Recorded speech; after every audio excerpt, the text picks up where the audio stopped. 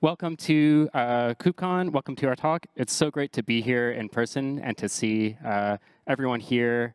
Uh, it's been a tough two years, and it's really great that we're doing these things again. Uh, so today, we're going to talk about the time that it wasn't DNS. Uh, everything seemed to tell us that it was DNS, the logs. It felt like DNS. It had to be DNS, and it wasn't. So first off, uh, we're here representing Datadog. Uh, this is a talk about Datadog's infrastructure, not about uh, the product that we have. But just in case you're not familiar, we're an observability platform. We monitor all the things. We have a sweet booth in the exhibition hall, and you should go uh, check it out. We're doing a raffle for a Nintendo Switch uh, this afternoon, so you should go get your badge scanned and see what we have to offer. Anyway, uh, the numbers that I want to focus on for this talk are the way that we run Kubernetes, and we're really big on that technology. We run it at a big scale.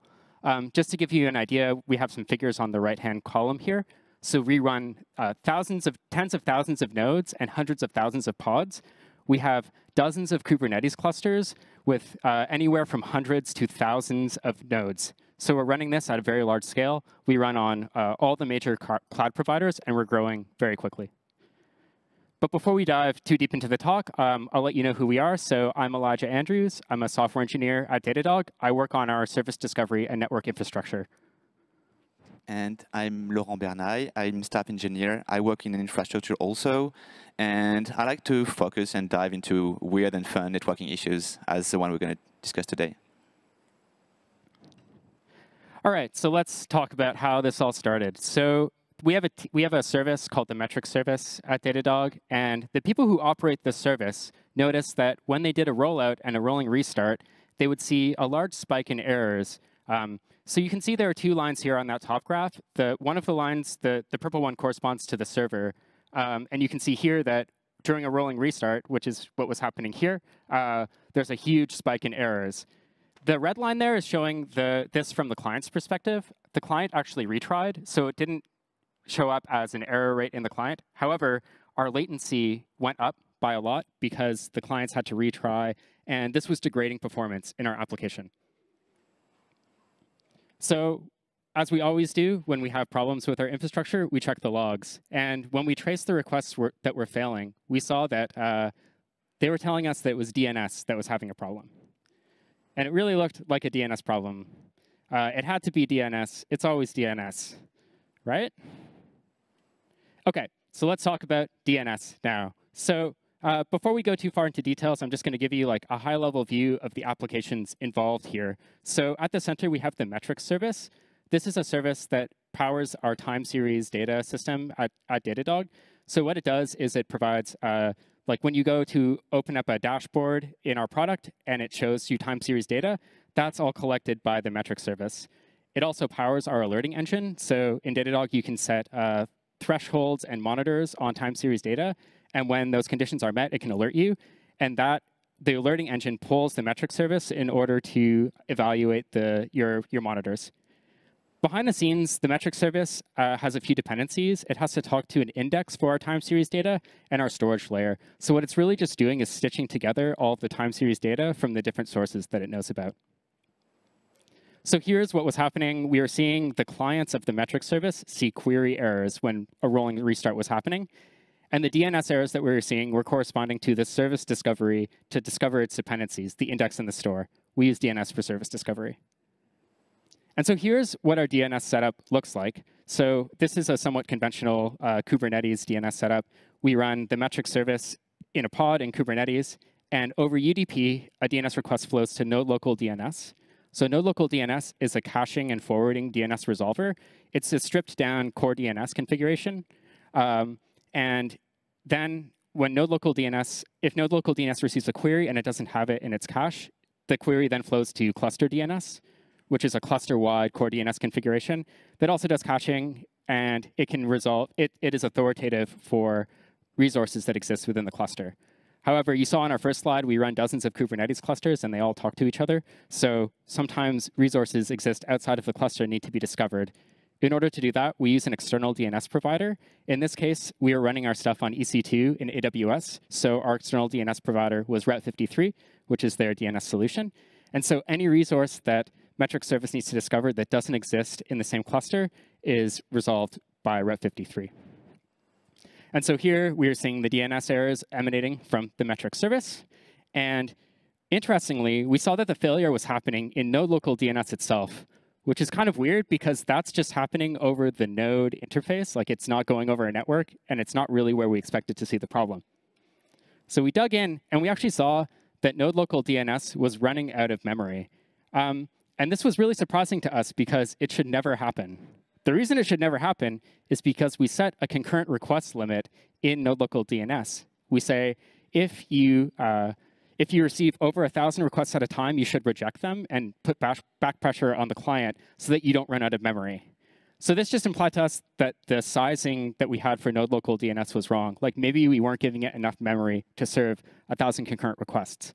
So the first thing that we did here was we increased the amount of memory that we were giving it this runs as a daemon set, so it's like kind of expensive to give it too much memory. Um, but we quadrupled the amount of memory. We went from 64 megabytes to, to 256 megabytes of memory.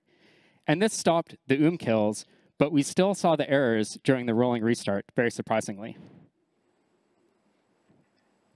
And so at this point, we started doing a little bit of math, and nothing that we were seeing really made any sense. So we looked at the number of queries that node local DNS was receiving on that node, and you can see you know, it's usually around 100 requests per second. And then when we do the rolling restart, there's a little spike here.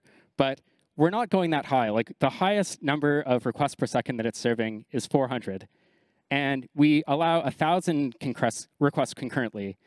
And if we get, if we say that each DNS request takes like five milliseconds to resolve, which is quite generous, um, that's like not taking caching into account or anything. Node local DNS in theory should be able to serve hundreds of thousands of requests per second. But we're hitting max concurrent with under 400 requests per second. Very strange. So we looked more at uh, all of our all of our graphs and tried to figure out what was happening. And this one stood out to us.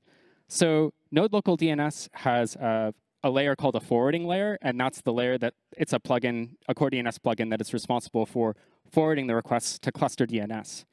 And we noticed that the forward plugin was telling us that Node Local DNS was having health check failures when trying to talk to the uh, cluster level resolver. So um, the way that that works is those connections happen over TCP, and they're reused for requests, but every 10 seconds, those connections expire, and they have to be recreated. And so node local DNS was unable to connect to cluster DNS. And this explained why we were hitting max concurrent here. We looked at the timeout for creating a connection from node local DNS to cluster DNS, and we saw that it was five seconds. And so if an incoming query comes in and there's no connection to the to cluster DNS, that request will block for five seconds as we time out trying to create the connection. And this means that we'll hit max concurrent of 1,000 with only 200 requests per second. So it's starting to make a bit of sense, but it's still really weird. At this point, we thought maybe we were having a networking issue, like perhaps we were saturating the network on this instance. Um, and so we looked at what we should be able to achieve. So we run this on M5 4x large, which is an EC2 AWS instance type.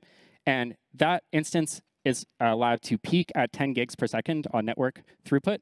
And it should be able to sustain 5 gigabits per second.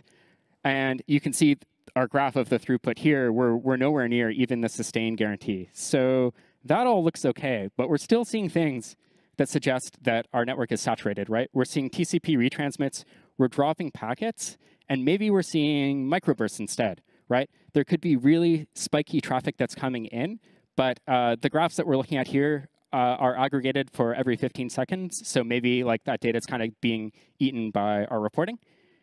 And when you see this type of thing in networks, what you normally do is look at uh, the counters in the network driver, uh, which count like events that happen and aren't subject to this sort of like time aggregation, like observability issue that we see a lot in networking.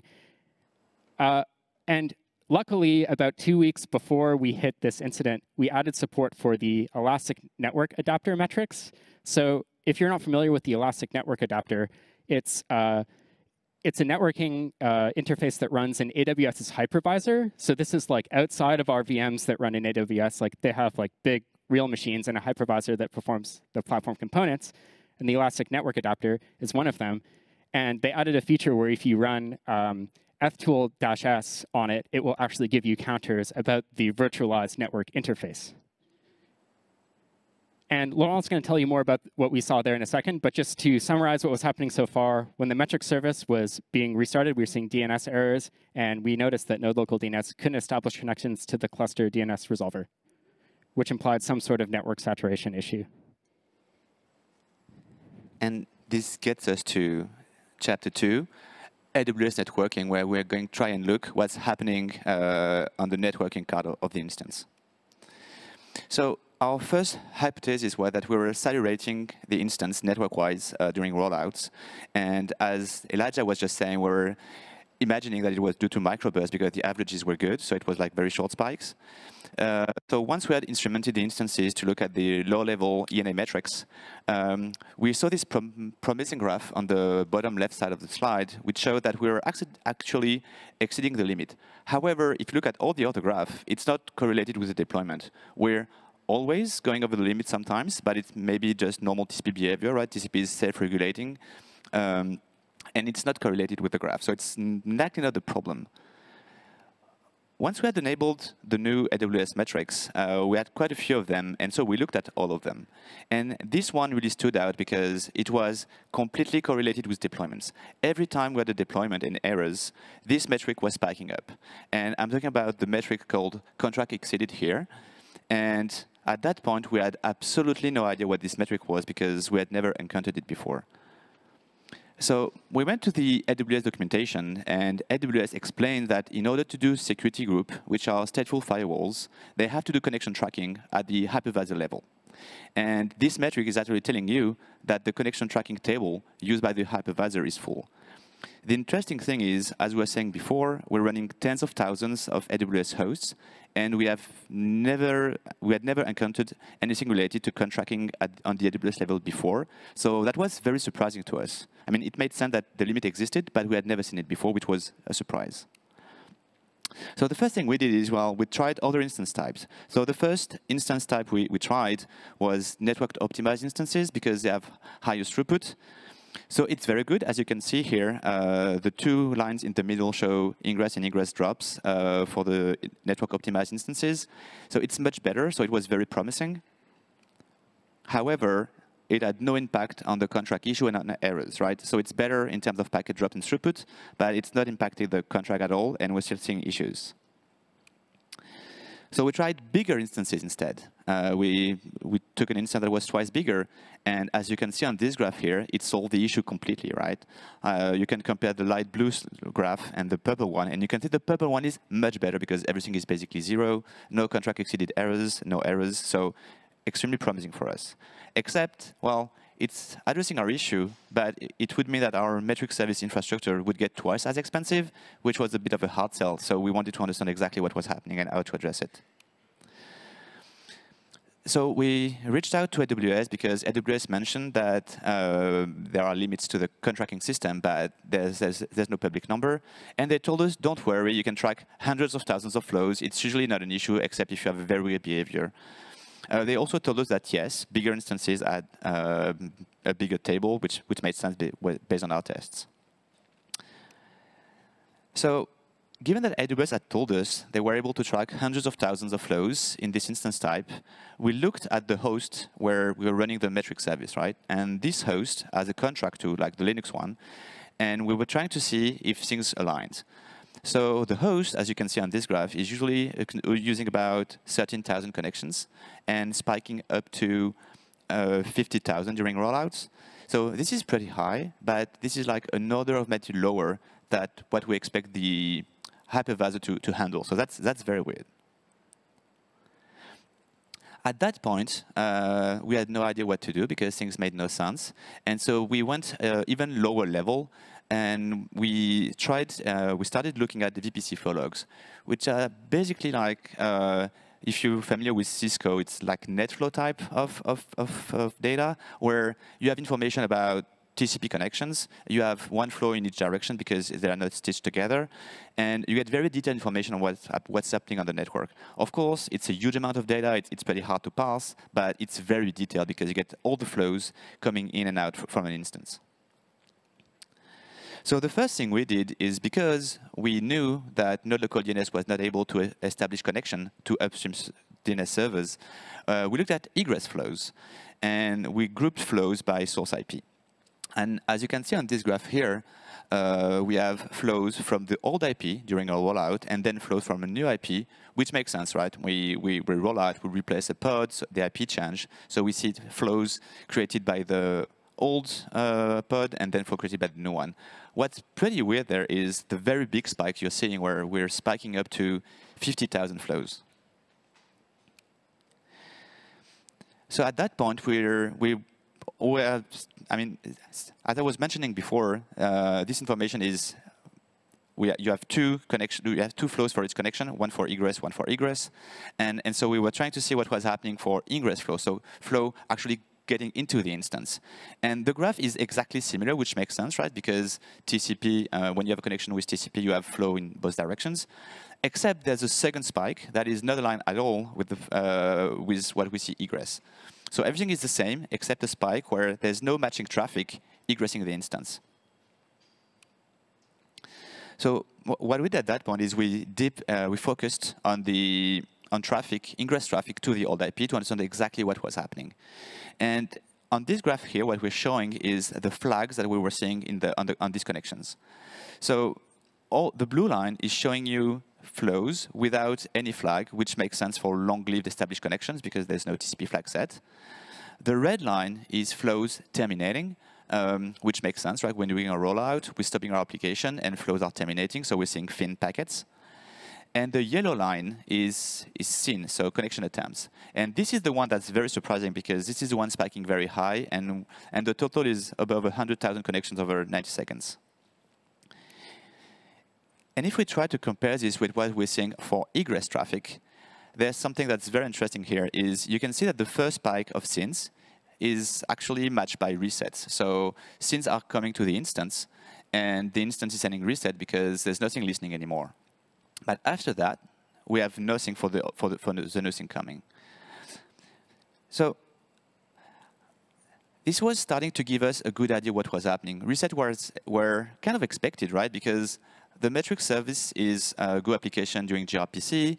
It's doing a graceful stop uh, with a timeout of 10 seconds. And what happens when you do a graceful stop in gRPC is the server stops accepting connections. And this is why we're getting resets. It waits for existing co uh, connection to finish and tells the client to, to terminate. So during these 10 seconds, it makes complete sense to get resets because this is what gRPC is going to do. However, after these 10 seconds, the pod is deleted and the IP is not there anymore, right? It's deleted. So there's nothing to answer, and that's why we're not seeing uh, an answer to the SYN packets. Another thing we, we knew at that time is, uh, well, give, given we have all the flows, we could identify the application connecting to our, our metric service, and we identified that the alerting engine was actually making the connections. And well, we looked at the conntrack on the host of alerting engine nodes. And as you can see here, it, the, they're spiking very high. So it seems to confirm that this is what's happening. So at that point, what we know is, well, we have DNS errors because node local DNS can connect to upstream. We know we're actually saturating the AWS conntrack because we've, we've seen hundreds of thousands of SYNs, right? And we know which application is SYN flooding the metric service. The but it doesn't explain why what we're seeing in the instance is so different from what AWS is seeing in its, uh, at the hypervisor level. So let's dive into node networking. So on our nodes, we use, we use Cilium to provide CNI. And the way this works is we have the Cilium operator allocate IP, uh, additional IP to nodes that are used for pods. And we allocate IPs on an additional interface. So not the main interface of the host, an, an interface dedicated to pods. And once the, um, so the operator is responsible for maintaining an IP pool for pods. And when you create a pod, the Cilium agent is going to grab an free IP allocated to the pod. That's all good, but then you need traffic to flow into the pod, right? So what the Cilium agent is doing is it's also adding uh, a route entry to say traffic to this pod IP should be sent on this virtual interface we also need to route traffic outside of the pod, and, and, and we need to use the right uh, interface. So to do that, we use source routing, and we achieve this with an IP rule. So Cilium is creating the IP rule and say traffic from this IP should be using this route table, which will use the additional interface to get traffic out. So in a stable state where an alerting node is sending, is trying to connect to a metric service pod. Uh, it sends a SYN, and you can see the conntrack is consistent everywhere where the connection is uh, starting to open. Then we get the SYN-ACK, and the connection trans transition to established state, and it's aligned everywhere on the node, in the hypervisor, and on the alerting node. What happens when we delete a pod? So when we delete a pod, uh, and we still get traffic to the old IP, because uh, it takes some time for service discovery information to propagate, so client will try to reconnect to the old IP. And the IP is still held by the, by the interface. So the VPC fabric will send traffic to the, to the node. And the thing is, we have this SYN, and this IP is not known anymore, right? Because the, all, all the routing information has been garbage collected. So we were wondering what, what's happening to this packet, right? So we have this SYN packet incoming, and we don't know where it's going. So what we did is, well, we tried to, to, to do a connection ourselves and, and, and simulate it. So we connected from another node, and we capture traffic with TCP dump, and so we see the SYN packet incoming, but no answer whatsoever, nothing at all. At that point, we're like, well, we have a SYN packet, but where would where should it be running uh, routing to, right? And so we ask the kernel, like, if you see a packet of this type with this source IP to this uh, target incoming on this interface, what are you going to do with it? And this is where things start to get a bit uh, more interesting and, and, and, more fun, which is this error message here, which shows that we're hitting reverse path filtering. Like the kernel refuses to do something with this packet because it's doing something wrong, according to the kernel. And reverse path filtering um, is a security feature we're going to talk about just after. But this was confirmed in the kernel logs where we see this warning there, which is was something we're seeing a Martian packet, so a packet we should never see on this interface. Um, for those of you who are not familiar with reverse path filtering, it's a security feature from the kernel to prevent IP spoofing. So you can send a packet with a source IP that's uh, not supposed to be there. And you have different modes. The standard mode is if the return path would use a different interface, drop the packet. So that's strict mode. And, and log the 7 as matched packets. And there's loose mode, which is only drop packet if there's no return route.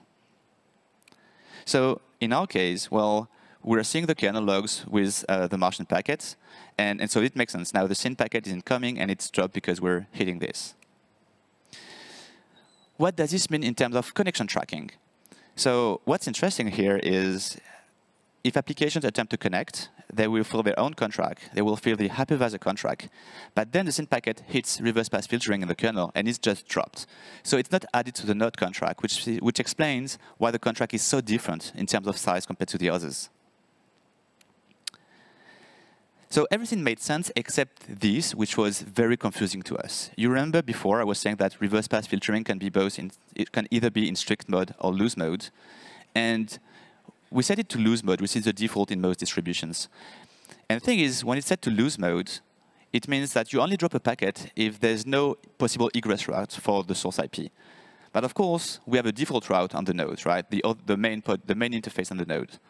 And so we should be able to route traffic through this. So the traffic should be incoming on ENS6, the pod interface, and egressing on ENS5, and then just be dropped by AWS. But it's not what's happening, so that was very confusing to us.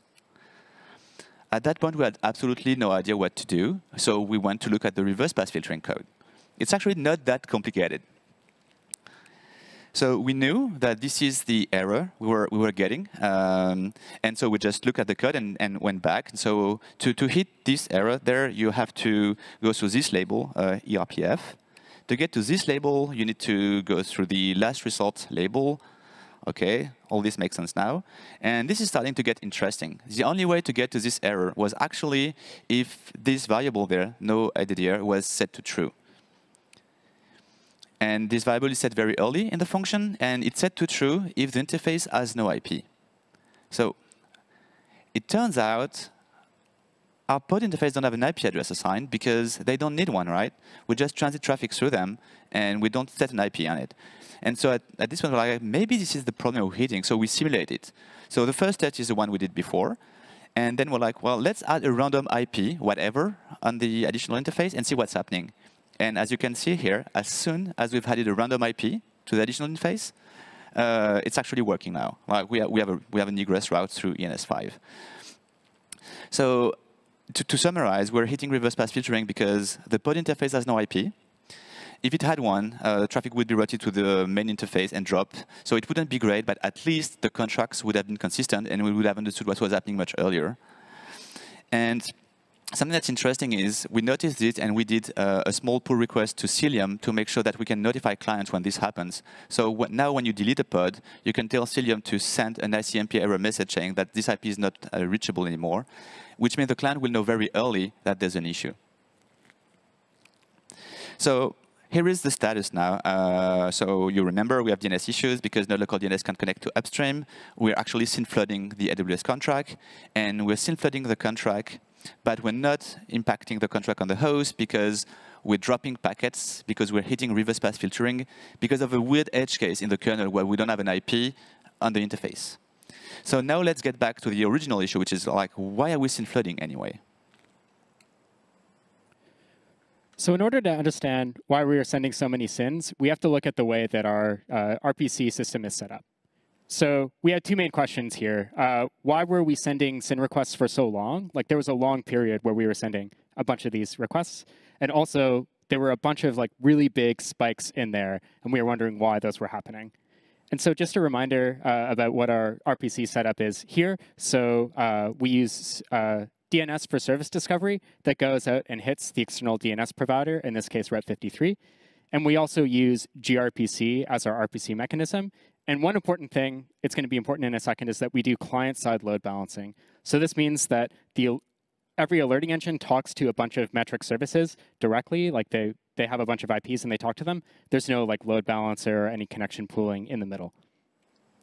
Okay, so first, why were we sending SYN requests for so long? So in order to understand why why that period was so long as it was, we had to look. We looked at um, the way that uh, external DNS was configured. So if you're not familiar with external DNS, this is a controller that you can run in your Kubernetes clusters.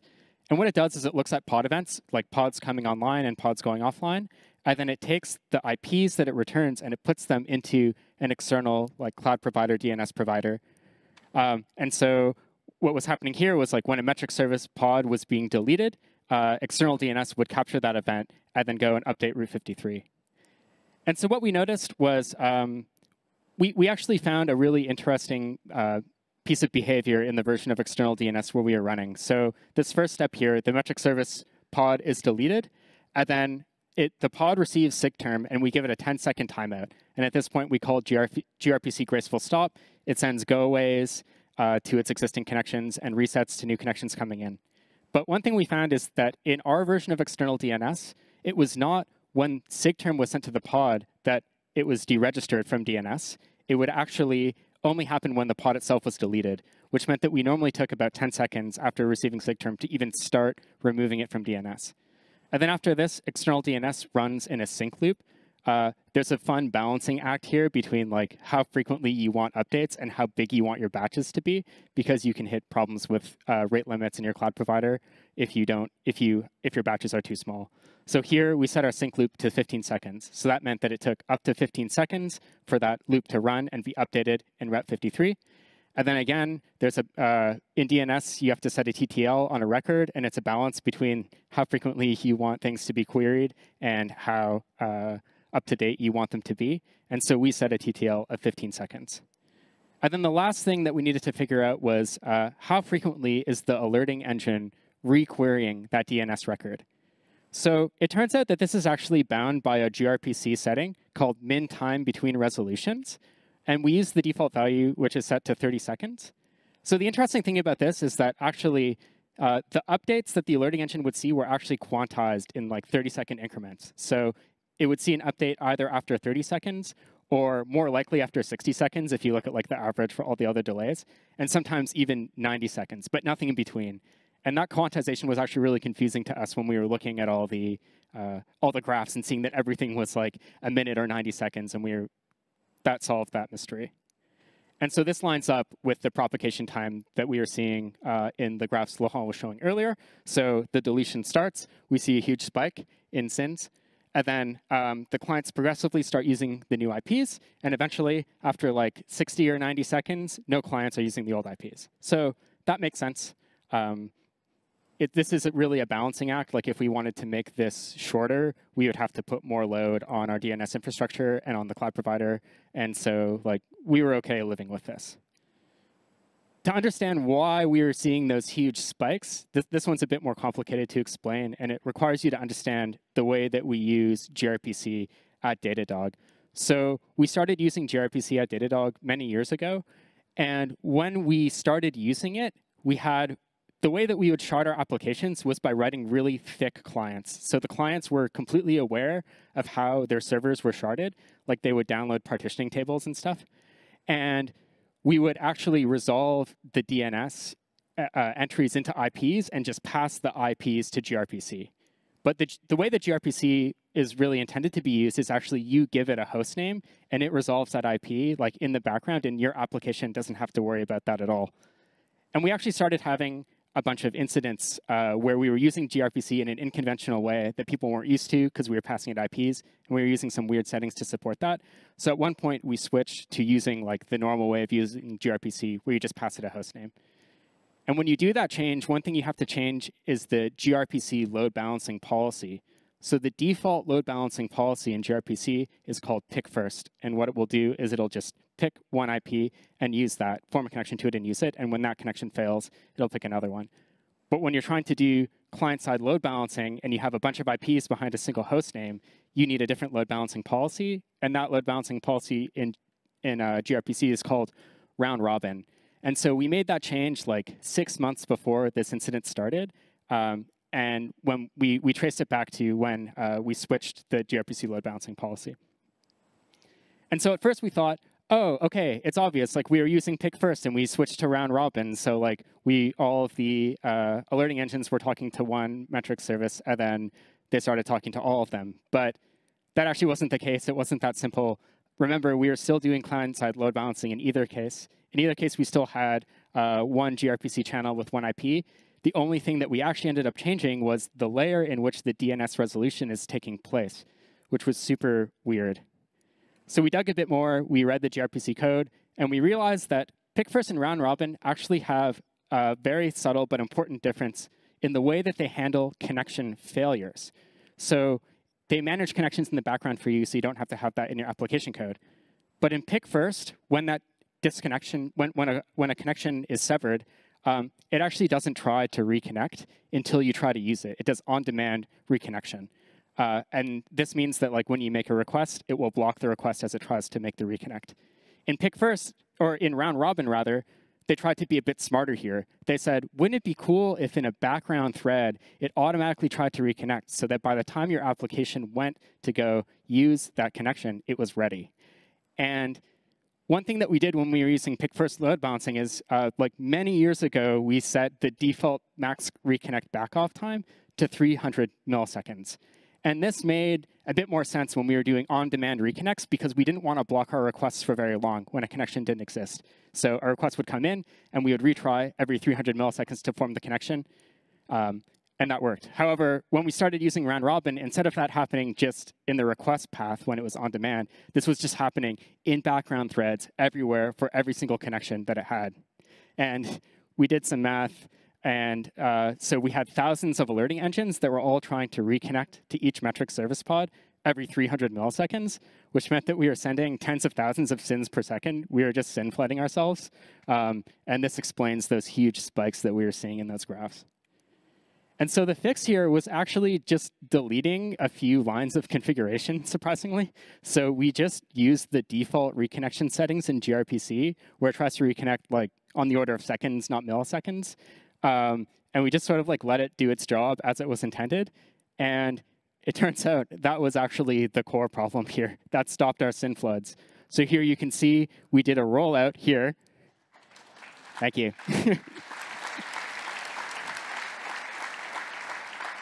Yes, we were very happy when we finally fixed this after this, this took months for us to find. Uh, you can see here, uh, client errors are good, server errors are good. We don't see a spike in response time. Conntrack is totally sane, and that ended up being the problem. And so we, we, we learned a lot from this incident because, as, as you've seen, it was, it was a, bit, a bit complex. Uh, so the key first lesson is, well, sometimes it's not DNS. I promise you, sometimes it's not.